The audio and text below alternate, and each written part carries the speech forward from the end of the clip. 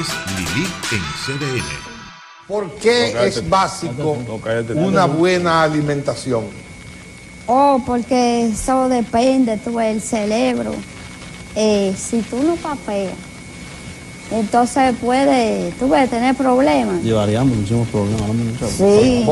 Está Y entonces ¿Cómo coge vuelta el cerebro? se le pone débil, ¿Eh? se le pone débil ¿Y el cómo usted se cerebro. da cuenta de que el cerebro está débil? Oh, yo he volteado los ojos en la calle, O sea, que se te voltea al revés. caí Y me cerebro- dijeron, No, me dijeron, No, me dijeron la gente que cerebro- yo dije, Mira, me estoy poniendo dice, mala. Espérese, deje que ella hable. ¿eh? Me dijeron la gente que yo dije, me estoy poniendo mala, ¡pla! y ahí caí. Entonces me echaron una lata de agua y, y era que no. Usted no había comido.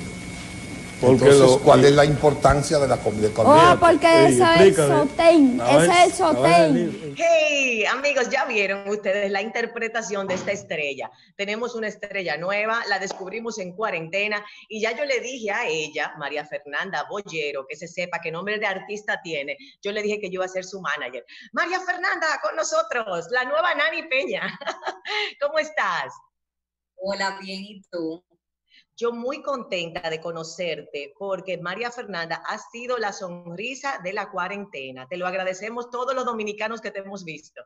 Muchas gracias. Yo feliz de poder ayudar a todo el mundo a botar un poquito el golpe, imagínate. ¿Cuántos días tú tienes de cuarentena, María Fernanda?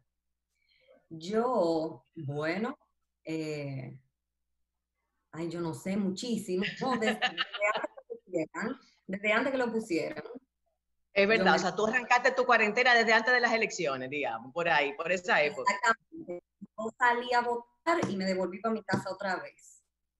Y más nunca. Entonces, vamos a decir, vamos a contarle a la gente, porque fíjense que María, Aleja, María Fernanda, perdón, es dentista de profesión. Entonces, tú, María Fernanda, nunca Sí. habías hecho nada que tuviera que ver con arte, escénico, actuación, ni nada de eso. Nada en lo absoluto. No, es completamente nuevo para mí. Ven acá, ¿y cómo fue que te involucraste en eso? O sea, eh, ¿fue el aburrimiento? Bueno, yo tenía eh, un amigo científico que me tenía loca que bajara la aplicación y yo que no, y ella que la bajara y yo que no, hasta que me convenció y con el tiempo libre, pues bueno, me puse a grabar ahí dos o tres videitos, vi que daba risa y terminé haciendo una cuenta. Se, se hace de control la situación. Tú sabes que yo creo que ya tú no vas a volver a bregar con, de- con dientes, María Fernanda, probablemente. Te va a tocar actuar ahora. No, la verdad que eh, tu talento es natural. ¿Y por qué eliges en particular eh, estas incidencias de Nani Peña en, en la escuelota, la famosa escuelota? Cuéntame. Ay, pero es que Nani, es que imagínate, o sea, Nani Peña da una risa que, que es que es como eh, eterna. O sea, esa mujer eh, desde los 80 y todavía, o sea, la gente sigue gozando con ella. Y es, un, es una- un humor que sale natural, es un humor que muy pocas veces uno lo veía ensayado. O sea, es una cosa, esa mujer es una cosa. Tú la viste chiquita, tú la veías desde chiquita, desde tu casa con tus padres. pero no durante la programación, porque yo, yo soy de los 80, pero... Estaba muy chiquita. Exacto, pero los reruns, o sea, las repeticiones que daban en, en el cable, pues sí, yo las llegué a ver cuando pequeña. Ese Claro. personaje, María Fernanda, que tú interpretas, ¿cómo se llama? Plácida.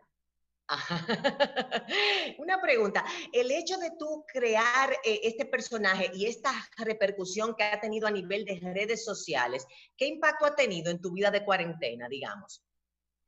Bueno, la verdad es que me tiene bastante entretenida, pero al mismo tiempo, como no estoy acostumbrada a recibir esa cantidad de mensajes, esa cantidad de, de comentarios, estoy feliz y contenta de saber que estoy ayudando a mucha gente a que voten un poquito el golpe en estos momentos tan difíciles. Pero también me siento abrumada porque la cantidad de información y la cantidad de cosas, eh, mm, yo no estoy acostumbrada a eso para nada. ¿Cuántos followers, cuántos followers te han subido después de que tú te hiciste viral? yo tenía mi, mi- o sea, mi círculo cercano, algunos mil veinte seguidores, uno que otro que, bueno, no conocía tanto. Ahora mismo yo estoy casi en los cuatro mil. Eso- y eso que ahora que falta. Porque, porque en TikTok es otra cosa. TikTok eh, los seguidores llegan como más fácil y porque ahí Ujú. comencé. Y tengo más de 10 mil ya y, y eso fue en cuestión de, de dos semanas, dos semanas y media. Una vez. Sí, no, no. eh, eso ha sido así. Es que el talento es el talento, María Fernanda. ¿Cuánto te toma hacer uno de esos videitos, uno de esos cortecitos que tú haces? Eh, Tú lo haces a través de TikTok, ¿cierto? A través de la plataforma TikTok. si yo uso el audio que más me guste de ahí y lo voy practicando hasta que me salga. Eh, algunos 20 minutos, media hora. Tú sabes que es corto, no es tanto. O en otro idioma, porque entonces ya ahí me tomo, me- tengo 40 minutos. Sí, hay que hacerlo en Piquingli también, María Fernanda. Hay que hacerlo en Piquingli para el mundo internacional, producto. Claro, porque he hecho dos o tres ya en, en inglés. Ya lo he visto, ya lo he visto. Tu cuenta es María Fernanda. eh, ¿Cómo está tu cuenta en TikTok y en todas las redes para que la gente lo sepa? M. Bollero. M Bollero, con Y, ya lo saben. María Fernanda, una cosa que a mí me llama la atención es que cuando tú, aparte de aprenderte el texto, la forma en que tú como que eh, personificas lo que estás diciendo es impresionante. Eh, ¿cómo sale eso así? O sea, ¿eso es natural o, o tú te involucraste viéndola a ella muchas veces, a Nani? ¿Cómo lograste tú como esa capacidad de, de conectar? Yo siempre he sido muecosa. O sea, yo, yo hago muchas expresiones con la cara y la idea de, de, eh, por ejemplo, me preguntaban, ay, pero ¿por qué tú no te pones la peluca? ¿Por qué tú no te pones el lazo? Pero la idea no era imitar exactamente a Nani, sino utilizar sus audios que son sumamente graciosos y hacerlo como si fuera yo. O sea, esa en los videos soy yo. Claro. Yo, por ejemplo, haría toda esa mueca expli- haciendo un cuento, por ejemplo, o explicando cualquier cosa. Tú sabes que una cosa que me encanta es que eh, es impresionante cómo tú puedes a través de, yo, tú lo haces en tu celular, es con tu celular, ¿cierto? Sí, sí. Sí. Entonces tú cuando estás hablando, cuando en esos eh, conversatorios de la escuelota, digamos, cuando está hablando Freddy Veragoy con cualquiera de los compañeros, tú miras como, como si estuvieras viendo a la otra persona cuando habla. Y la verdad que se siente tan orgánico, súper chulo, de verdad que sí. Claro, porque yo tengo en mi aula sentada con el resto de mis compañeros ahí. con- la. Mira, ¿y tú nunca has tomado una clase de actuación en tu vida? No, no, no. no. Wow, wow, wow, wow, Dime, Mis áreas son los dientes, eso es lo que yo hago. ajá, y dime una cosa, ¿estás sola en cuarentena? O sea, ¿cómo te ha tocado vivir la cuarentena a ti? ¿Con tu familia, con quién o solita? Con mi familia, con mi familia estoy aquí.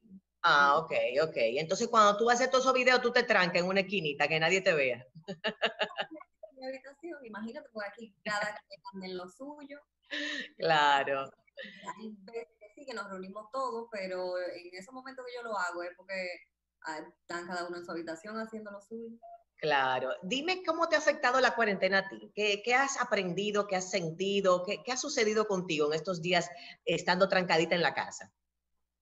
Bueno, la verdad es que yo lo que me sigo repitiendo y repitiendo es que hay que tener paciencia y esto es una situación que no es una sola persona que la está viviendo, es todo el mundo. O sea, esto es una situación mundial y hay que tener paciencia, no hay de otra. Hay que ayudar a que no se siga propagando, porque lamentablemente ahora mismo no hay cómo resolver esa situación. Claro. La gente quedándose en casa, cuidándose. Y eso es lo que yo sigo repitiendo, que es todo el mundo que tiene que hacerlo, y es obligatorio. O sea, no hay de Claro. otra. Así mismo, y el tiempo que tome lo esperamos. Mientras tengamos a María Fernanda en TikTok, lo podemos por lo menos aguantar un poquito más. ¿Tú te animas? ¿Tú te aprendiste ya todos esos textos? De, de, de, ¿Tú te los aprendes o tú los vas leyendo? ¿Cómo tú haces eso? Si tú supieras que yo traté al principio de leer como para no tener que comerlo tan en serio y no aprenderme los, o sea, los que son muy largos, pero es que uno se pierde. O tú tienes un papel al lado, tú trata como de, de ir viendo por dónde tú vas, tú te pierdes. Entonces, la, la única eh, forma de hacer lo que queden bien es aprendiendo solo de memoria, sabiendo cuándo... Haciendo- Claro, a mí me encanta. Mira, tú tienes una super fan aquí, la presidenta del fan club, que se sepa, yo, Lili. Mira, María Fernanda, ¿y, y cuántos, cuántos has hecho? ¿Cuántas incidencias de ese tipo has hecho tú? Hasta ahora, más o menos. Tiene que haber algunos 10 videos, 11. 10 o 11. Por ejemplo, un día como hoy tú no has hecho nada, tú no has hecho un video. Hoy yo no grabé nada porque hoy salió, eh, se publicó en las redes sociales una colaboración que hice junto con eh, Carlos Durán. ¡Ay, qué chula! Ya voy de grabarlos porque yo, si a las 8 yo voy a subir, por ejemplo, uno o dos videitos, yo me siento a las seis y media, siete, lo grabo y lo subo. Pero como ya tenía ese material, pues hoy no grabé nada, por ejemplo. Claro, tú estás tratando de subir todos los días algo. Sí, porque me he dado cuenta que la gente, a la gente le, le gusta y la gente eh, como que espera ese momentico, me han dicho dos o tres personas, que esperan ese momentico para reírse. claro. Que ya después de que varias gente te dicen eso, tú como que no quieres que no se rían. Y mucho más ahora con, con todo esto que está pasando. Claro. ¿Qué le dices tú? Una, mujer joven, una mujer profesional que se está reinventando en cuarentena para hacer que la gente se sienta mejor. ¿Qué le dices tú a otras mujeres que como tú son profesionales y están viviendo estos tiempos de incertidumbre y en sus casas trancaditas y, y se, mujeres u hombres, pero hablemos de hembras, ¿no? Eh, ¿Qué le dices tú? Eh, ¿Qué, qué debemos hacer en tu punto de vista? Bueno, en cuanto a, obviamente ahora mismo todo el mundo está preocupado, número uno por la salud número dos por el salud económico. Ujú. todo el mundo está asustado porque nadie sabe qué va a pasar, nadie sabe cómo va a resolver. Pero lo que sí yo encuentro, que por lo menos a mí me calma, es que todo el mundo está pasando, vuelvo y repito, por la misma situación. Entonces, por esa razón, obviamente, van a haber, eh, o sea, van a haber medidas que se van a tomar para manejar esta situación económica que se está tomando. No vamos a tener la misma libertad, pero no es algo tampoco que yo no creo que ninguno nos traiga problemas, porque es que le vamos a buscar la vuelta. Hay que sobrevivir. Es todo el mundo que está en la misma situación. Claro, todo el claro, literalmente. claro. No Esto nos va a probar, nos va a probar a ver si so- qué tan fuertes somos, ¿cierto? Claro, claro, eso, eso es lo que hay que repetirse, que todo el mundo está en la misma situación. Y eso se va a Claro. resolver, de una manera u otra se va a resolver. Mira, María Fernanda, entonces, eh, ¿a qué hora subes tú tus posts? ¿Tú tienes una hora específica, eh, como tú señalabas, como para la noche, o, de acuerdo a cómo venga la musa? No, yo trato de subirlo siempre tipo 8, 8 y media de la noche, algunas veces que me extiendo hasta las 9 por ahí, porque yo entiendo que ya a esa hora todo el mundo lo recogió, ya todo el mundo está tranquilo y la gente como que se puede echar en algún sitio a ver los videitos y a reírse un poquito. A esa hora. Mira, pues déjame decirte que yo soy tu fan, entonces lo que yo quiero que tú y yo hagamos ahora en época de cuarentena es que hagamos, yo te reto, te reto, bueno, me reto a mí porque ya tú lo sabes, yo quiero hacerlo, yo quiero hacer un videito contigo donde tú hagas un conversatorio y yo me tenga que aprender otro. Entonces, María Fernanda, cuando lo tengamos listo, aunque sea grabado y no lo juntemos, lo vamos a sacar en línea CDN de nuevo para que tú de verdad me acompañes en eso, porque yo estoy tan fascinada contigo que yo tengo que hacer, así como Carlos Durán, yo tengo que hacer un, una especie de, tú sabes, colaboración. de verdad que sí. No hay Lo vamos a hacer, lo vamos a hacer. Me encantas. Bueno, vamos a despedirte felicitándote. Gente como tú es lo que queremos ahora. Espero que tengas mucho éxito. Eh, Estoy segura de verdad que lo vas a tener a nivel artístico también, porque de verdad tú eres una artista innata, María Fernanda. Síganla en sus redes, que es una estrella. Y gracias. Nos vamos a despedir con dos más de tus cortitos. Y nada, la verdad que el talento dominicano, cuando uno lo ve a flor de piel, uno se mueve, se le mueve la fibra, uno se siente tan entusiasmado. Gracias por eso, mi corazón. Muchas bendiciones para ti y tu familia. Bye bye. Y a ustedes, amigos, muchísimas gracias por la sintonía en esta noche, una noche de inspiración donde lo que queremos es saber que podemos superar esto y hacernos más fuertes. Como dijo la propia María Fernanda, esto lo, lo superamos y de aquí salimos más fortalecidos. Gracias a todos por la sintonía y mañana nueva vez su cita obligada aquí en la Fórmula Antinovelas. Bye bye.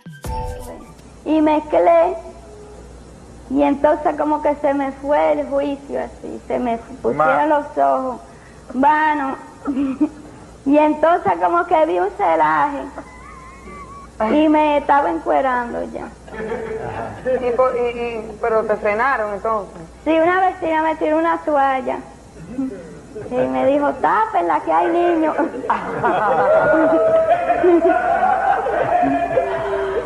¿Cómo fue que te Con los niños, sí, que la vecina dijo, tápenla que hay niños. ¿Y por qué castigo no debe dar como encuadraste? ¿Por qué? No sé, el cerebro se me desacoteja.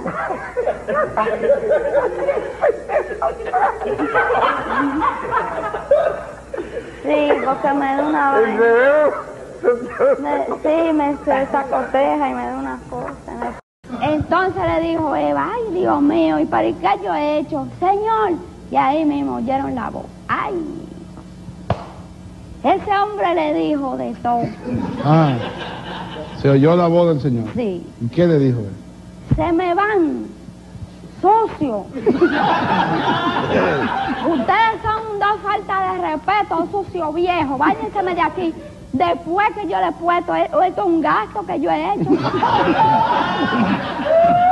Culebra, Mira. con culebra, ¿y qué? Con tu y culebra lo botaron. Con tu y culebra. Porque había una culebrita. Sí, había una culebra. Oiga, pues. La culebra, porque la culebra fue que lo llamó, tú ves. Esto es